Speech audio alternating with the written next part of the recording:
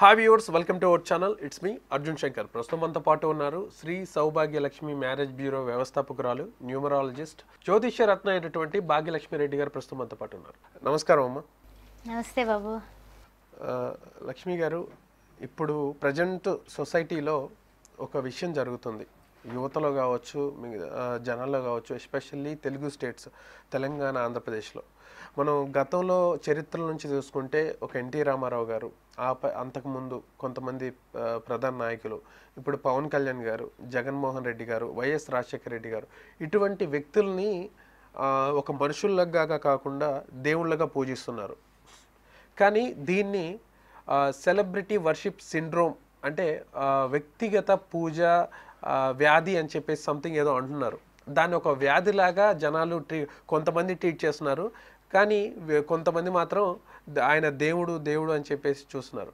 But మన పురాణాలేమో దైవం మనుష్య రూపేణ. మా ఇట్లాంటివి చెప్తూ ఉంటారు. రెండింటికి పొంతన అసలు కుదర కుదరట్లేదు. సో ఒక వ్యక్తిని పూజించడం ఎంతవరకు కరెక్ట్? వ్యక్తి పూజ అనేది వ్యక్తిగతమైనది. ఫస్ట్ వ్యక్తి పూజ వ్యక్తిగతమైనది. ఆ వ్యక్తి ఒక ఒక మనిషి మీద ఒక ఇష్టం ఏర్పడడం అనేది ఒక ఇష్- ఒక విషయం అండి ఏంటంటే కోరిన వరములు కోరుచున్న భగవంతునిపై భక్తి పెరుగు. కోరిన వరములు తీరకున్న భగవంతునిపై రక్తి కాదు అనురక్తే. అంటే ఏమిటి? చెప్పాలంటే విరక్తి పెరుగు. రక్తి లేదు అనురక్తి లేదు విరక్తి పెరుగు. అన్నారు ఒక మహానుభావుడు. అందువల్ల కోరిన కోరికలు ఎవరైతే తీరుస్తున్నారో వారు ఏ రాజకీయ నాయకులైనా సరే మన ఇంట్లో కూలర్ లేదు కూలర్ పంపించారు ఆయన దేవుడేగా? మన దృష్టిలో? మంచి వేసవకాలం. కరెంట్ లేదు కరెంట్ ఇస్తున్నాడు ఆయన దేవుడైపోయాడు అంతే. అదేవిధంగా వ్యక్తి పూజ వ్యక్తిగత పూజ అంటారు దీన్ని. వ్యక్తి వ్యక్తిగా ఆరాధింపబడటం అనేది భగవంతునికి మాత్రమే చెల్లింది. ఆయన భగవంతుడు కాబట్టి అంటే సర్వ సమాన సమానత్వం సర్వ సౌభాతృత్వం సర్వ మానవాళకే కూడా ఎవరైతే ఉద్ధరేనాత్మనాత్మానాం అని కృష్ణ పరమాత్మ చెప్పినటువంటి విషయాన్ని శ్రీకృష్ణుడు మాత్రమే జగద్గురు అయ్యాడు అందరూ ఎందుకు అవ్వలేదు? ఎంతోమంది అవధూతులు వచ్చారు ఎంతోమంది లోక కళ్యాణార్థం కూడా ఎన్నో రకాలైనటువంటి మంచి మాటలు చెప్పారు.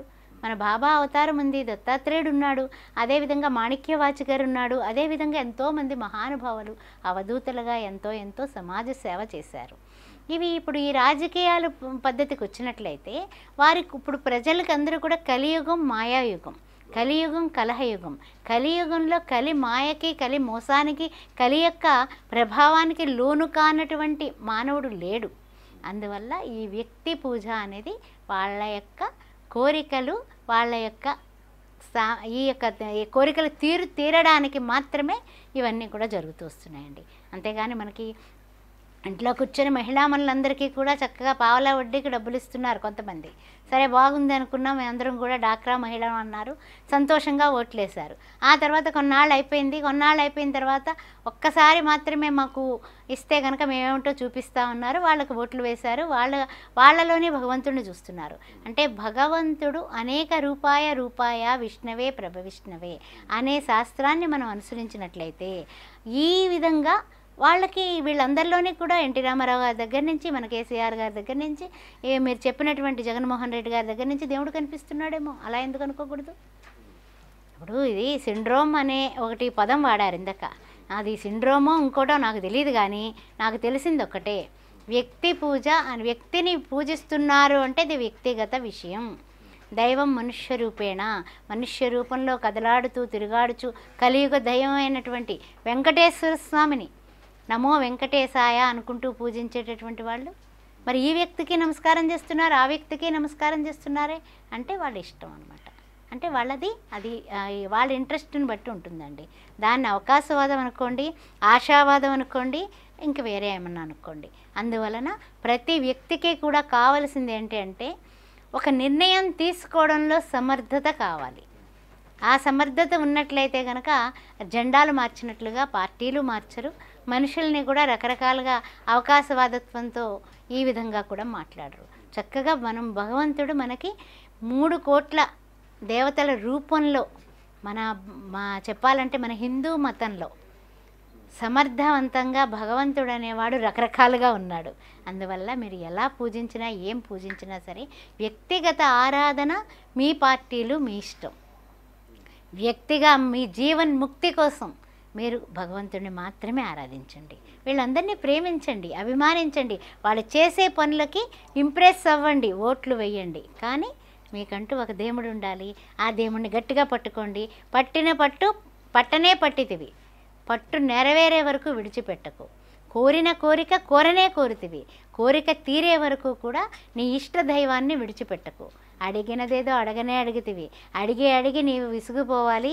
నేను వేసారి వేసారి నువ్వు అడిగినది నేను ఇవ్వవలే అన్నాడు భగవంతుడు. అందువల్ల ఇవన్నీ కూడా మీరు ఆలోచించేటటువంటి వ్యక్తి పూజ అనేది మీ వ్యక్తిగతం.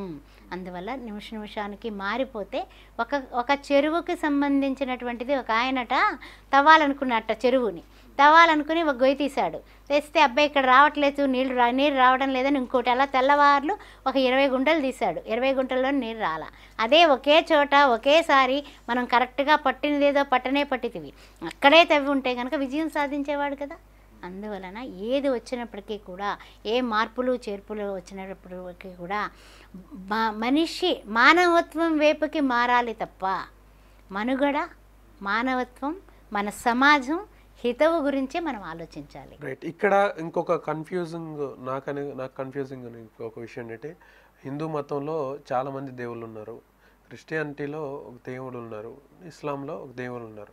ఇంతమంది దేవుళ్ళు ఉండగా ఎదుటి వ్యక్తిలో అంటే మనుషుల్లో దేవుణ్ణి చూడాలా చూడొద్దా? ఎందుకు చూడాలి? మనుషులు అంటే వీళ్ళని దేవుళ్ళలాగా చూస్తే వాళ్ళని దేవుళ్ళలాగా చూడాలా చూడకూడదా? ఏమండి ఒకటేనండి. ఇప్పుడు వ్యక్తిగత ఆరాధన అనుకున్నాం కదా. అదేమిటంటే ఇప్పుడు ఏ వ్యక్తిని కూడా ఇప్పుడు ఎన్టీ రామారావు గారిని వెంకటేశ్వర స్వామిగా ఎవరు అనరు. వెంకటేశ్వర స్వామి వెంకటేశ్వర స్వామి. అంటే కృష్ణుడు పాత్రలు ఎక్కువ వేసిన మూలాన ఎన్టీ రామారావు గారు ఆయన శ్రీకృష్ణ పరమాత్మ అంటే ఆయన కనపడేవాడు. ఆయ- మా చిన్నప్పుడైతే ఆయన బొమ్మే వెంకటేశ్వర స్వామిగా అది శ్రీకృష్ణ పరమాత్మగా మా పెద్దవాళ్ళు కూడా అంటించుకునేవాళ్ళు. అప్పుడు పోస్టర్లు ఉండేవి. ఇప్పుడు ఆ పోస్టర్ల సంస్కృతి తగ్గిపోయింది. పోస్టర్లు దొరికితే కనుక అయ్య బాబో ఏంటి వాడు? రా వేశాడు వేషం అనేసి శ్రీకృష్ణ పరమాత్మగా అనేసి కృష్ణుడే ఏంటి వాడు అని చెప్పేవారు. అలాంటి సంస్కృతి నుంచి ఇప్పుడు ఈ రాజకీయ పరిణామాలు ఈ రాజకీయాలు ఇవన్నీ వచ్చి రకరకాలుగా మార్పు చెందడం జరిగింది. ఆయన కూడా కొన్నాళ్ళు కాషాయధారిగా ఆయన ప్ర- చేశాడు. వివేకానందుడుగా ఆయన కనపడ్డాడు అందరికీ. ఎన్నో రకాలుగా చేసినప్పటికీ కూడా ఆయన అది తరం అయిపోయింది. ఆ తర్వాత రకరకాల వాళ్ళు వచ్చారు. వచ్చి వాళ్ళు తోచినవి వాళ్ళు చేస్తున్నారు. ప్రతి మనిషికి కూడానండి భగవంతుడు ఏ జంతువుకి ఇవ్వనే ఇవ్వనటువంటి ఒక అదృష్టాన్ని ఇచ్చాడు జంతునాం నరజన్మ దుర్లభం. విచక్షణ శక్తి ఇచ్చాడు. అందువల్ల భగవంతుణ్ణి పూజిస్తే భగవంతుడు ఏం చేస్తాడు? మనం కోరిన వరములు ఇస్తూ ఉంటాడు.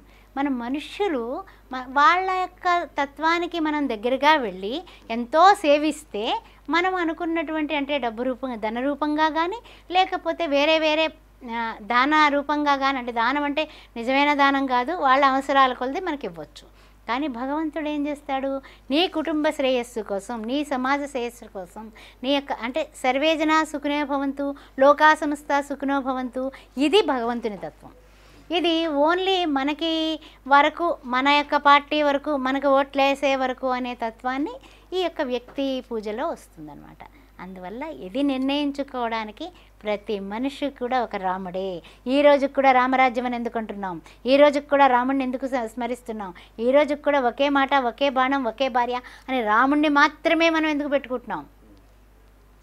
వల్ల ఇవి రకరకాలైనటువంటి మాయలు మర్మాలు ఎన్నో ఉన్నాయి కాబట్టి ఈ వ్యక్తి పూజలో కూడా వాళ్ళ దోషాలు చూస్తున్నారు వాళ్ళలో ఉండేటటువంటి విషయాలు చూస్తున్నారు కాబట్టి ఆ విషయాలన్నీ కూడా సేకరించుకొని మీకు మీరే నిర్ణయించుకొని మీ యొక్క మనుగడ మీరు ఆనందంగా మానవత్వంతో సాగిస్తే దైవత్వాన్ని చేరుకోవచ్చు. మానవత్వం మాధవత్వం దైవత్వం. ఇది వ్యక్తిగత పూజ కాదు. వ్యక్తి యొక్క ఇష్టం ఏ కష్టాన్నన్నా భరిస్తాడు. అందువల్ల భగవంతుడిని సేవించండి. అల్లా అనండి. సేవించండి. యేసు అనండి సేవించండి. లేకపోతే రామ అనండి ఓకే. కృష్ణ లేకపోతే ఇంకొకటి ఇంకొకటి సిరిడి సాయి సత్యసాయి లేకపోతే ఇంకొకటి. అనుకోండి మీ ఇష్టం దత్తాత్రేయుడు మీ ఇష్టం కానీ భగవంతుడు పాదములు విడిచిపెట్టవద్దు. అప్పుడు మనం అనుకున్నవి జరుగుతాయండి తప్పనిసరిగా. వ్యక్తులు వారి పదవులు వెళ్ళిపోతే వాళ్ళు పక్కకు వెళతారు. తర్వాత కానీ వాళ్ళు రారు. ఓన్లీ ఐదు సంవత్సరాల తర్వాత ఏం జరుగుతుందో తెలియదు కానీ భగవంతుడు ఎప్పటికీ ఉన్నాడు. మీ అమ్మగారికి ఉన్నాడు మీ త మీ తాతగారికి ఉన్నాడు. వాళ్ళందరూ పూజించారు. తరతరాల నుంచి హిందూ ధర్మ సంస్కృతి అదే. సనాతనమైనది. సనాతనంగా ఆదిగా అనాదిగా ఉన్నటువంటి మన యొక్క మన హిందూ తత్వాన్ని మన యొక్క ప్రేమ తత్వాన్ని మన యొక్క చెప్పాలంటే సేవా తత్వాన్ని మరవకండి. మరి ఉండనా మరి? మీ భాగ్యలక్ష్మి. ధన్యవాదాలమ్మ. సో చూసారు కదా వ్యూవర్స్ వ్యక్తి పూజ అనేది వ్యక్తిగతమైనదే. ఈ వీడియో కనుక మీకు నచ్చినట్లయితే లైక్ చేయండి షేర్ చేయండి. మీ అభిప్రాయాన్ని ఖచ్చితంగా కామెంట్ బాక్స్లో తెలియచేయండి. మరిన్ని అప్డేట్స్ కోసం మా ఛానల్ని సబ్స్క్రైబ్ చేసుకోండి. Thanks for watching